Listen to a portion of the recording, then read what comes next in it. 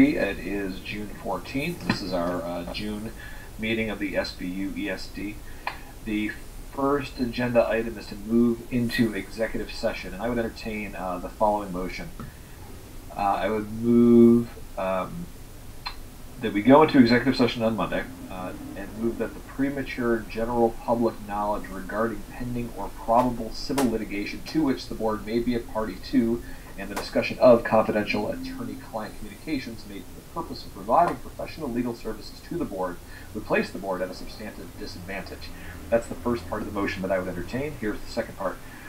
Uh, I would entertain a motion that we enter into executive session under 1 VSA section 313A1E and 313A1F to discuss pending or probable civil litigation and to discuss confidential attorney-client communication and that the superintendent and legal counsel and anyone else identified by either the superintendent or our legal counsel to join that session.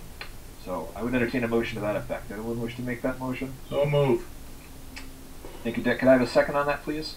Thank you, Tammy. Any discussion on the motion that's on the floor? Hearing none, all those in favor of the two-part motion that's on the floor, please signify by saying aye and raising your hand, please. Aye. Aye. Aye. Any opposed? Any abstentions? Hearing none, the motion passes. So uh, the superintendent has set up a breakout room, uh, and you should have a, a box prompting you to join that. So please do so, and that will of executive session.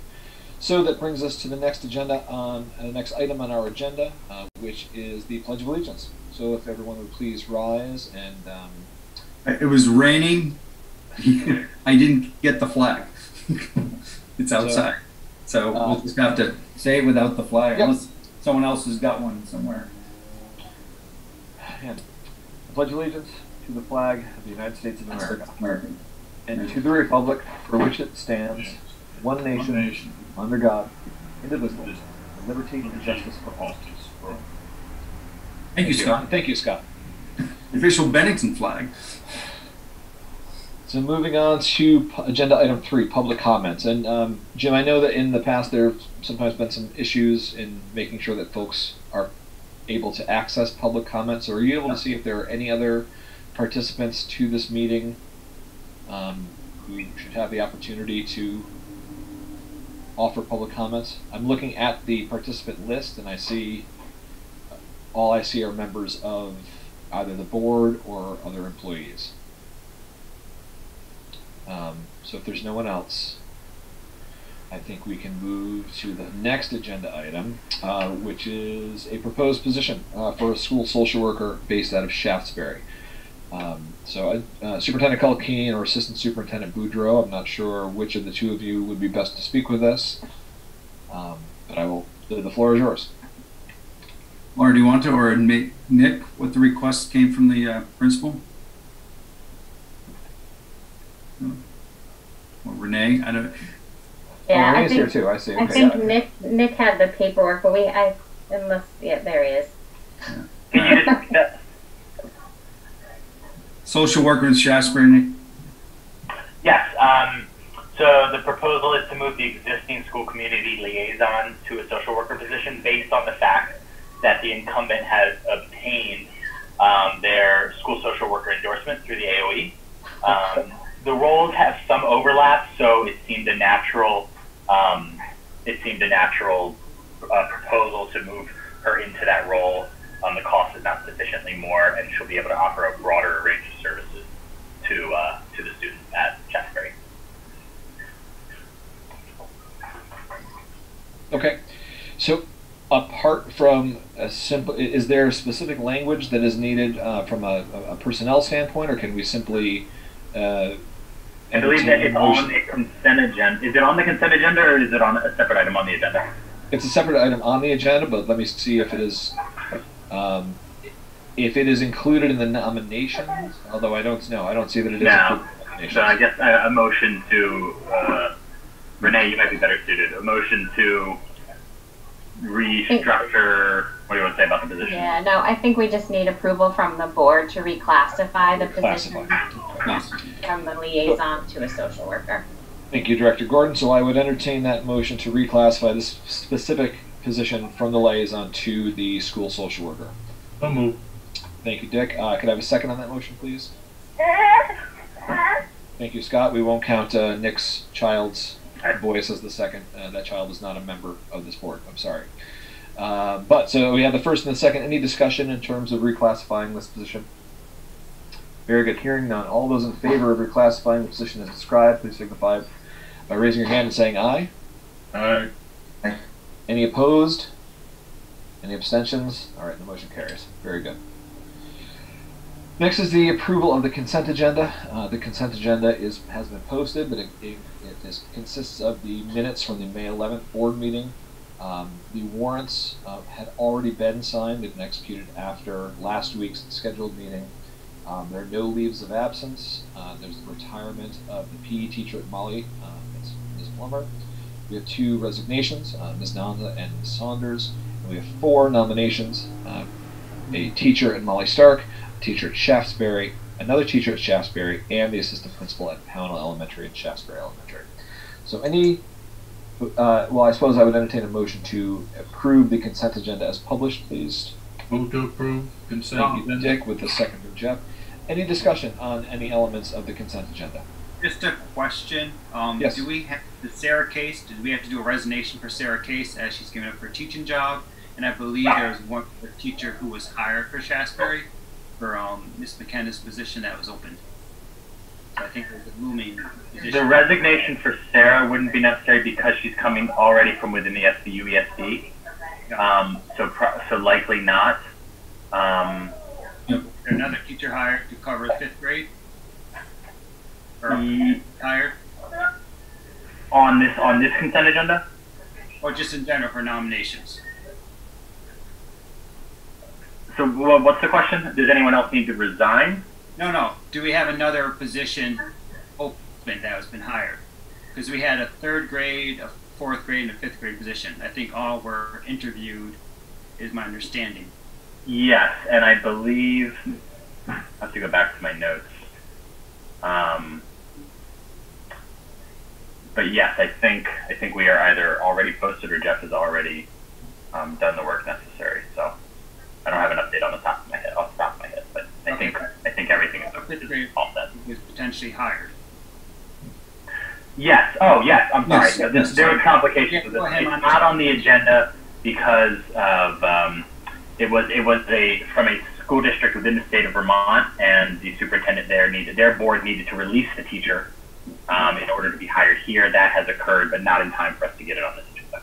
Okay, so can we amend the agenda to add that to the agenda? The name? You could, but we should have amended that right at the beginning of the meeting. Hasn't been posted as part of the agenda. Yeah. So we would have had to amend the agenda right as we started, so, um, we are, we are gonna have to meet again this month, uh, for contracts, so maybe we can, we can do it then. And I think- I was Is there any risk to losing this teacher uh, to some other position if we are unable to take action on this right this moment? I don't think so. I think that they'll understand the process, and if it was going to be, you know, August before we met, they might pan- panic. But we will meet uh, uh, probably before the SU meeting because we have to ratify the teachers and support staff contracts. So, so we could we Nick can relay the message to him, or Jeff can relay the message to the person we're going to hire that you know it it wasn't done, and they they know why it wasn't on the agenda Yeah. you understand that, but there is a Vermont statute that I can't hire somebody who's under contract to another school district in the state of Vermont unless that superintendent releases that person from their contract. So that's what we're waiting for. Once, once that person's released from their contract, they can be rehired by us. They can, we can hire them, yeah. Perfect. And I'm, I'm technically supposed to, uh, inform the superintendent before I offer the position, um, to the person.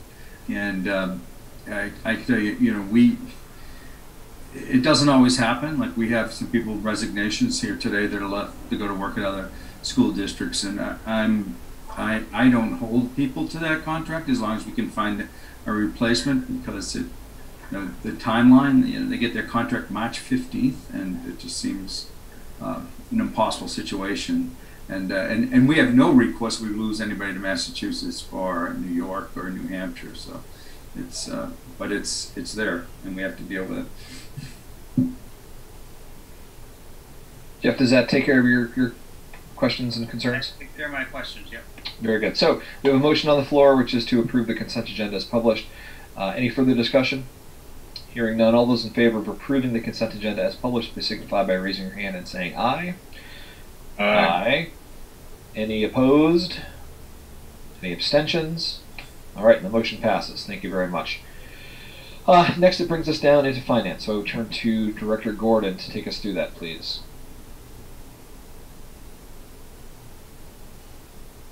I think your first item is the treasurer's report.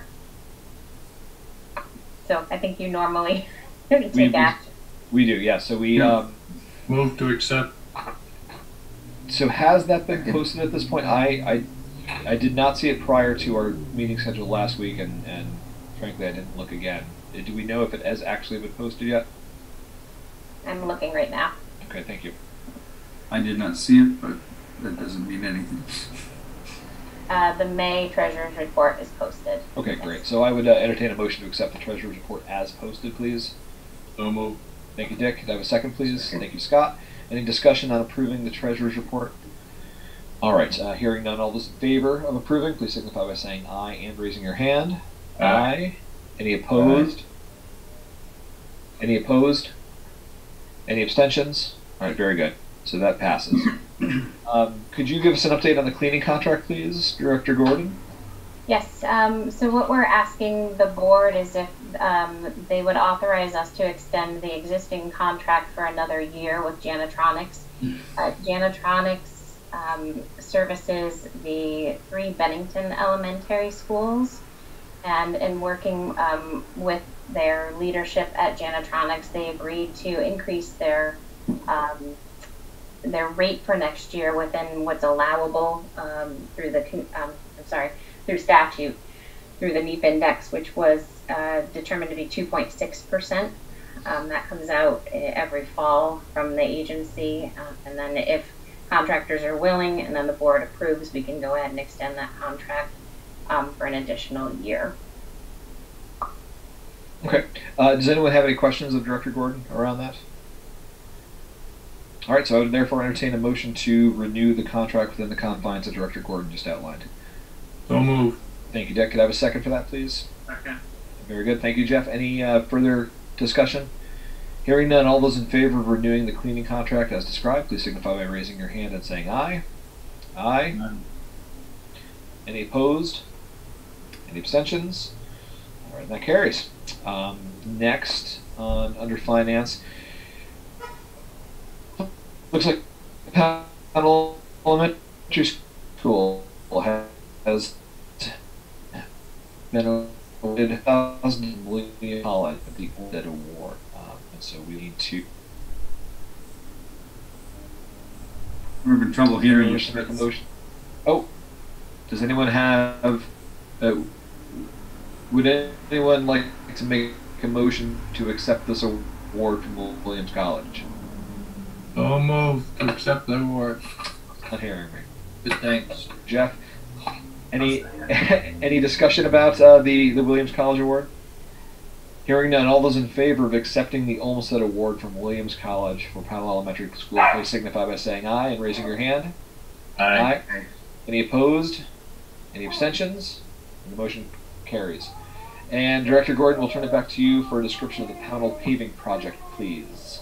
Yeah, the, there is a, a section at uh, Pownal Elementary School that has um, typically been dirt and has been um, somewhat of a problematic maintenance issue. So um, we did budget for this um, in in the upcoming budget. So um, it's work that we had gotten an estimate for last year, and we did uh, contact, as you can see in the in the summary that we provided, multiple contractors. We had only one actually come back with a bid to do the work this summer. Um, that's Mintroni Paving, also out of Pownal, um, for nineteen thousand four hundred and seventy-five dollars. and we're just asking the board to um, authorize we go ahead and award that contract to them. And we also are in the process of seeking a bid waiver from the agency because we didn't have um, at least two people, or maybe I think statute required maybe three um, prices to come in. So we'll get that uh, bid waiver from them as well. Okay, excellent. So I would entertain a motion to award the Pownal paving project to Mintrone Paving as described. So move. Thank you, Dick. Could I have a second for that, please? Thank you, Jeff. Any further discussion on the Pownal paving project? Hearing none. All those in favor of awarding the Pownal paving project uh, contract to Mintrone Paving as described, please signify by saying aye and raising your hand. Aye. Aye. Any opposed? Any abstentions? And that motion carries. Thank you very much. Uh, very briefly, we have two policies to consider tonight. Uh, first, I would entertain a motion to warn uh, policy 4035, the conflict of interest in hiring. So move. Thank you, Dick. Could I have a second for that, please? Second. Thank you, Jeff. Uh, any discussion about warning that policy? Hearing none, all those in favor of warning the policy, please signify by saying aye and raising your hand. Aye. Aye. Any opposed? Any abstentions? All right, that motion carries. And finally, we have a motion to adopt policy 5030, which pertains to attendance, which we've discussed uh, in the past. Uh, anyone choose to make that motion to adopt policy 5030? Move to adopt. Thank you, Dick.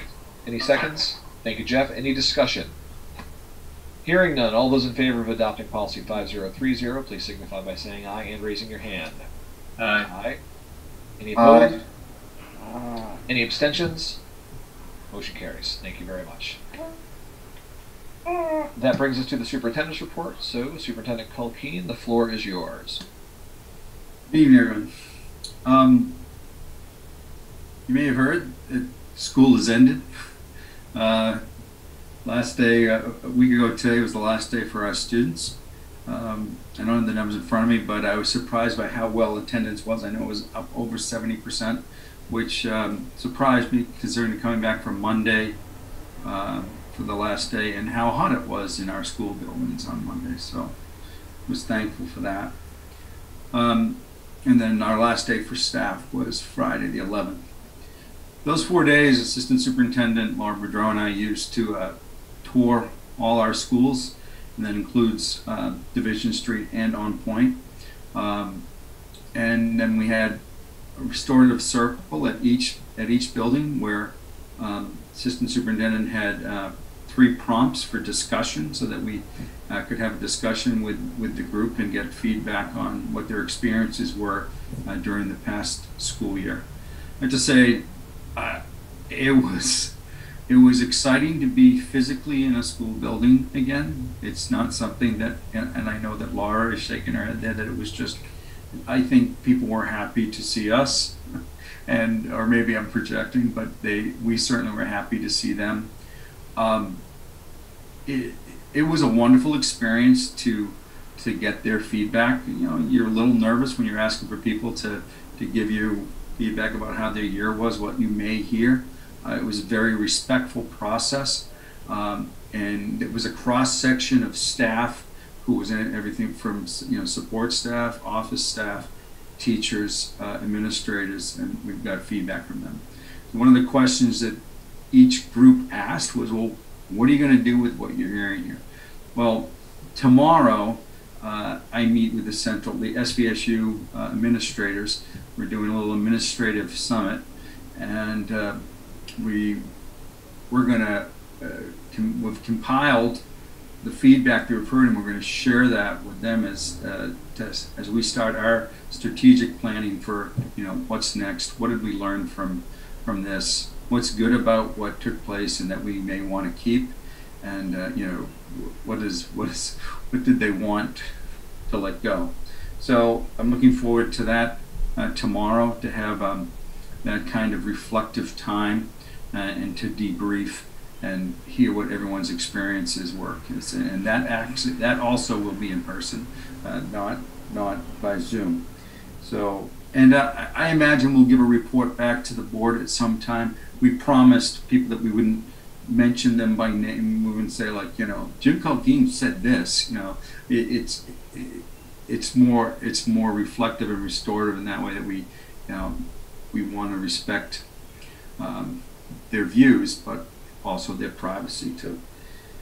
Um, so you heard me mention when we didn't, weren't able to amend the agenda. Um, and as a matter of practice, I try to amend the, not amend agendas at the meeting because the public has a right to know what, what's going to be on there. But unless it's an emergency, and if if if I didn't think we were going to have another meeting until August, I definitely would have asked you, even though we didn't do it. I think having the executive session right in the front of the meeting kind of threw off our pace.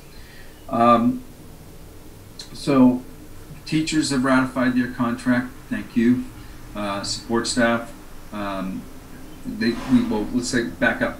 We negotiated a settlement with the teachers, or mediated a settlement. We received word that they have ratified that contract, so the next step will bring it to the board. I have not heard if uh, support staff. We did settle last Wednesday, uh, a very lengthy session with support staff. Reached a settlement with them. Uh, we'll wait for them to ratify it, and then the next step will be that we'll those you who've been there before, some people call it a carousel meeting, some call it, you know, a joint meeting of all boards, so that um, the negotiating team only has to explain the settlement once, and then you'll you'll we warn all the individual meetings all at the same time. You do your own deliberation, then you come back and tell us how you voted on it, and uh, hopefully we can get this passed. So I would like to do that.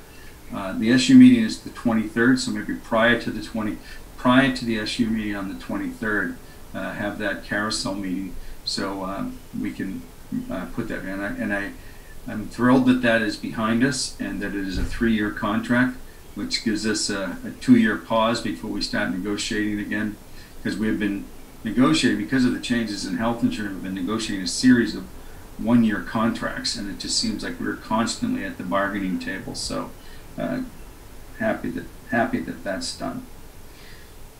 Um, this is your last full remote school board meeting. As you heard, the um, may, may have heard, the governor has released his emergency orders. So um, we had to scramble today and rewarn Wednesday's MAU meeting. It had to have a physical location. So, but we're we realize that not everybody wants to physically come to a meeting. So one of the things we did during the pandemic is uh, we had contractors in to um, add technology to the conference room at central office. So the, there's a large monitor on the wall, but there's a better sound system. There's a remote camera that can follow the sound, uh, and good microphones and good speakers.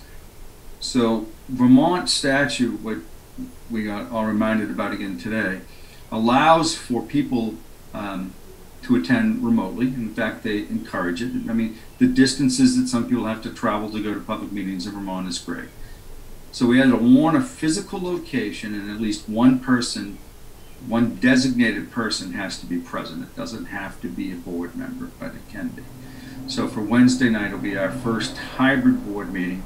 I'll be the designated person uh, sitting in the conference room at central office, and I'll, I'll open up a Zoom meeting from there, and people can either physically come in to the to space or join us um, by Zoom. So we'll see how that works. I, I keep telling everybody the conference room is it's kind of a test project for us. It's a smaller location.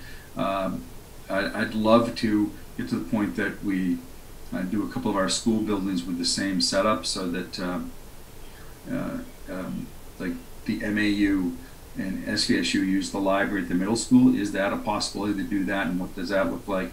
And for the Union Elementary Board, if we want that option, we may have to designate a school that is the most accessible building that we have and use that and not necessarily do the rotation.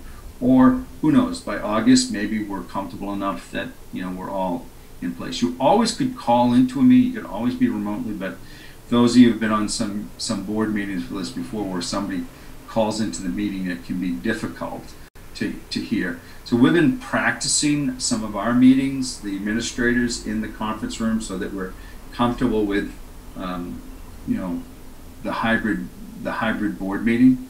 I, I think it'll I think it'll work pretty good. So yes, Todd. I mean Scott. I don't know who Todd No worries. Um, I think the limiting factor for for me as we think about this transition back is um, you start a meeting at five. Well, that's per- that's perfect because my workday goes till five.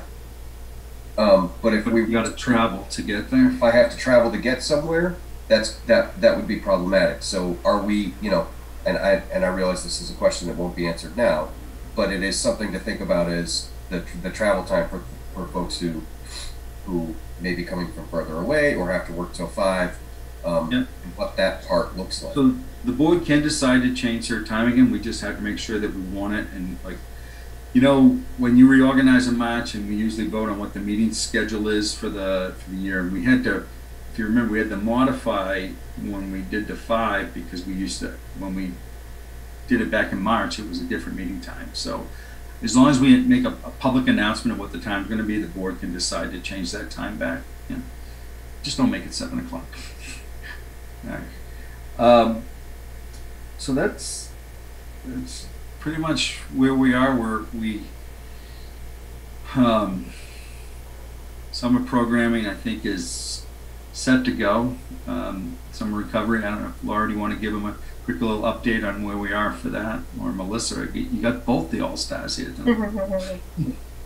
Yeah, no, I think um, again we're doing a very small start this year and growing over time. Um, um, Renee and Melissa and I meet weekly with our coordinators. Um, we have one for um, early ed and the elementary level and the middle and now the high. Um, and we're just navigating. Um, uh, we're knee deep in transportation. Like um, as I mentioned earlier, uh, this spring, um, this is the first time we've been able to offer transportation. So we're now figuring out how do you do transportation in the summer. Um, next is uh, meals and making sure kids are fed, and there's professional learning to support um, uh, the reading and the math and the social emotional interventions. And again, we're starting really small this year and growing. And then, um, and Melissa, I'd let you chime in. We've, I, I think, I'm thinking we've really tapped into our community and also tried to share with families all the other wonderful things that are available. Do you want to add anything, Melissa? I just wanted to um, shout out to Taylor Becker from the YMCA and other community members who have stepped up to say, we're all going to start small with the money that we receive for recovery. We're all going to work together because we'll be stronger and better and serving more kids together. So we're hoping that this can get even bigger next year as we go into next summer. It's exciting. Well, you know, again, I can't thank you and your team enough for you know putting that together. We are, um, you know, uh, shifting uh, mask policies. Uh, if you're vaccinated, um, you won't need to wear a mask. Uh, we're following kind of the state guideline on that as we go to summer program. Uh, but in our elementary programs, most of the students are not vaccinated, so they will be wearing masks while in the building. So we'll encourage programs to go outside as much where as possible, so they don't need to you know wear masks. But we're we'll be issuing that guidance um, shortly. Any questions I can answer for the board? No. Thank you, and um, it's been quite a year, and uh, I appreciate the board's support as we uh, navigated through the unknown and what we uh, never really prepared for before or expected that it would go on as long as it has. But I'm hoping that um, uh, September, well, August will be as normal as possible. One thing, one thing I should mention, um, the state is telling us no remote snow days next year, which the superintendent Association is not too happy with. It's like, we've, we've geared up with all this technology. We're, we're you know, I think we, we, we know what we're doing. Yes, do we miss some people on remote days? Are there some people that don't work out as that well? But how productive is education if we were in school this past week with 90 degree temperatures? Adding days on late in June isn't very productive either. I don't know if that's going to be final ruling from AOE, but right now they're saying uh, we cannot do uh, remote learning days uh, in place of snow days for next school year, which is a disappointment. And I, I, I think a compromise should be that will allow up to so many days, you know, put a number on it, you know, five days, four days, uh, that we can, and, and then look what type of data we gather, make us file reports on what attendance, what contact time was like, and, and then make, you find a decision and, and see how that works. But, um, anyways, that's my, that's my report. Thank you. Great. Well, thank you, Jim and Laura and Melissa. Thank you for that. So, just the two final items on the agenda, um, the chair's report, and I just wanted to end this meeting. I should also add we're not meeting in July. We typically don't, um, so that won't be happening. Um, we just wanted to take this opportunity to thank everyone for all of the work that they put into this this this past year. Um, so all the the staff at central office, and first of all, last year when the last academic year had to be ended in the midst of, of the pandemic as, as it was emerging, everyone responded with such quickness and such efficiency, and, and we were able to capture so many of our learners despite the shift in how education was being delivered. And then that success was just built upon uh, this over the course of this academic year. Um, so certainly thanks to everyone at the central office level for their flexibility and their dedication. Uh, when it gets comes to the staff uh, in the buildings themselves, administrative staff, teaching staff, support staff, um, again, just that I've used the term poise to describe how well that they did that work, and, and that, that continues to be an accurate descriptor. Just with with calmness and with being collected and being organized and moving forward and being creative in how they were going to deliver that, that education, with the ability to reach even more learners than they were at the end of the last academic year. I was just astounding. And, and to all the parents who were at home and trying to be creative and how they were going to manage their resources to support their students throughout that, and to the kids. And I hope there are no kids watching this right now. I hope they're doing something else. But if they are, kids, you did a great job. You did a really great job. And and the experiences that, that you had this year and what they missed, you know, what they would have experienced in a typical academic year that they didn't have this year, I hope will just be all the more sweet for them next year. Uh, when things are, are closer to normal. So just thank you to everyone uh, who made this work because this was not at all easy to make work. So thanks to everyone. And then, sure, Scott, go ahead. Just to build on that, and it's it's more of a question: is is it appropriate? Uh, does the board feel it's appropriate, just in case there are people who aren't watching this or, or don't get the message that um, our our understanding and acknowledgement of the work from with every level within within um, the elementary school district be heard? Can we can we draft a letter? Can we draft an email that could be sent out as a mass correspondence that just says, "Hey, thank you, enjoy your summer, you've earned it." Um, just as an as a public as an acknowledgement to that group of of our understanding of the extra efforts that went into making this year possible. I think that's entirely appropriate, Scott. And uh, I know you're you've already taken on a few things to write. Uh, if you want to write that, fine. If not, I'd be happy to write that myself, and we could we can get that out under the under the board's auspices. How about I'll take the other one and you take that one? I'll, I'll take the fun one and you can take the other one. Okay, deal. Uh, all right, so that's that. Uh, and then just the final agenda item is just the FYI with the budget status report and the student enrollment data, um, which has been posted on the website. So, that having exhausted our agenda, I would entertain a motion to adjourn this meeting. So moved. Thank you, Dick. Second. I think I see Scott with his hand up for the second. Uh, any discussion about uh, about adjourning this meeting? Okay, and again, just a note, we will not be meeting in July. However, we do need to have a carousel meeting that will be warned at some point prior to the end of this month. So, uh, with that, all those in favor of adjourning this meeting, please signify by raising your hand and saying aye. Aye. Any opposed? Any extensions? Hearing none, the motion passes. So thank you all very much. Have a nice night.